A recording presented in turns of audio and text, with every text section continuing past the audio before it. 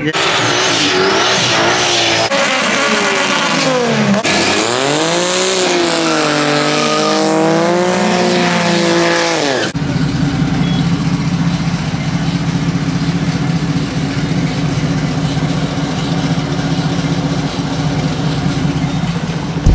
right, welcome back to another video. As you can see, we are in Trailblazer. We're about to go to the, the street heat right now, pumping some gas real quick. And man, we're gonna go out there and see what we can get into. It was raining earlier, the storm was coming, man, but it looked like it cleared up. So hopefully it's not gonna rain the rest of the night. I hope not. I didn't even get a chance to really wash the truck like that, man, but it is what it is. So I think I have more than enough gas in this thing from last time. So I'm just gonna put 15. Let's see what happens. So let's get to it.